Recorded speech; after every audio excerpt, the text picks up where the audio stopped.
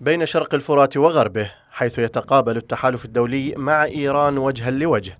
تزداد التكهنات حول عمليات عسكرية متبادلة ويسعى كل طرف لكسب ولاءات في مناطق سيطرة الآخر. أما الأسد فيبقى بعيدا عن هذه التجاذبات. موقع باس نيوز نقل عن مسؤول في قوات سوريا الديمقراطية أن مفاوضات جرت بين قسد وسلطة الأسد برعاية إيرانية. هدف طهران هو عدم مشاركة قسد في أي ضربات ينفذها التحالف الدولي ضد الحرس الثوري وميليشياته في سوريا.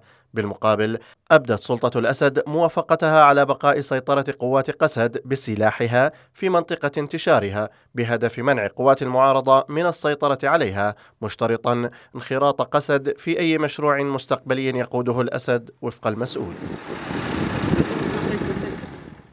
نتائج المفاوضات جاءت سريعا حيث أكد فرهاد الشامي مدير المركز الإعلامي في قسد أن الأخيرة لن تنخرط في أي عمليات عسكرية ضد إيران في سوريا نافيا أنباء الصدام المحتمل مع الميليشيات الإيرانية غربي الفرات.